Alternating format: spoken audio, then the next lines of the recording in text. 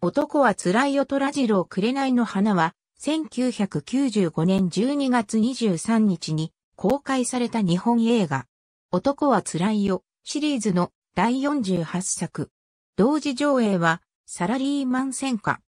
ある日、車屋の面々が何気なくテレビを見ていると、この年に起こった阪神、淡路大震災のドキュメンタリーが放送されていた。そこには、なんと、ボランティアとして活躍する虎次郎の姿があり、村山総理を村ちゃんなどと呼び、大活躍していた。そのことで皆は、びっくり仰天。そうしているうちに、三尾が思いを寄せていた泉が訪ねてくる。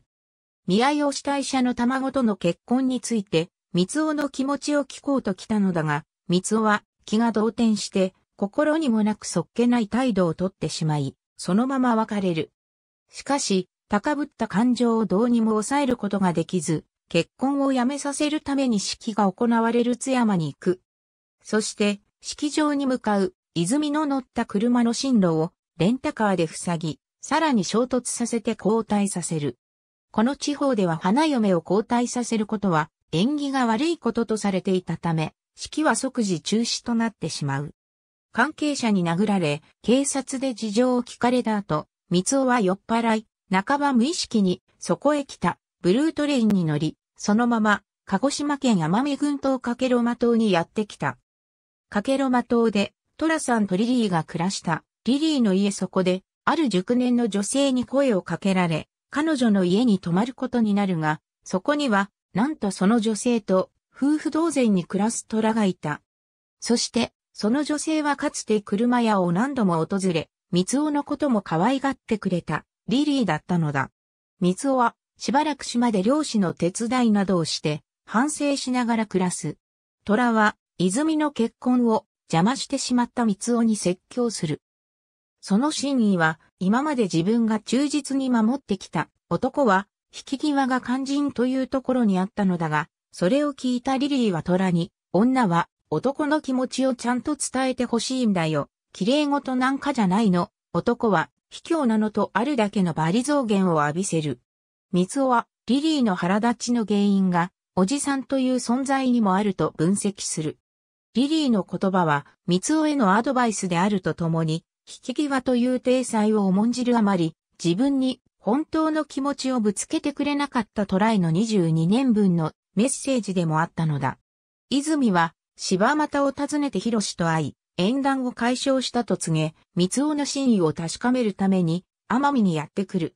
海岸で、どうしてあんなことをしたの？と問い詰める泉に、愛しているからだよ。と不器用に叫ぶ三尾。感激する泉。ついに、三尾と泉はお互いの気持ちを通じ合えたのだった。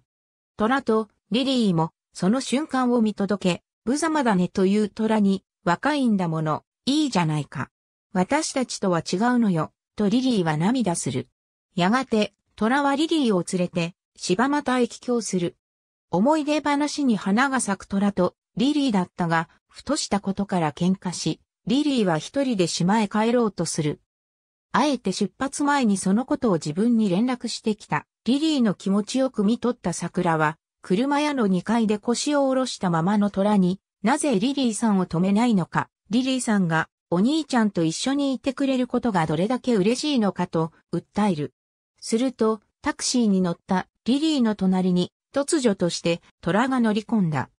か弱い女を一人寂しく旅立たせるわけにはいかねえだろ。虎さん、どこまで送っていただけるんですか？男が女を送るって場合にはな、その女の家の玄関まで送るっていうことよ。